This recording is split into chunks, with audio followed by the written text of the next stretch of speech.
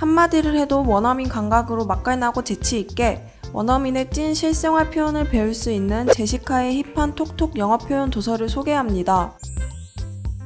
밥벌이, 연애와 결혼, 소셜미디어 등 7가지 주제를 중심으로 실제 원어민이 빈번하게 쓰는 표현 100여 개를 수록했습니다.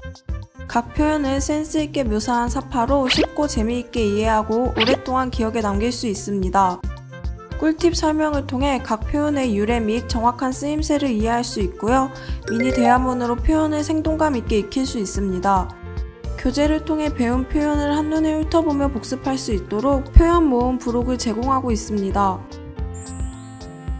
힙한 톡톡 영어 표현으로 미국 찐친들과 격이 없는 대화를 나눠보세요.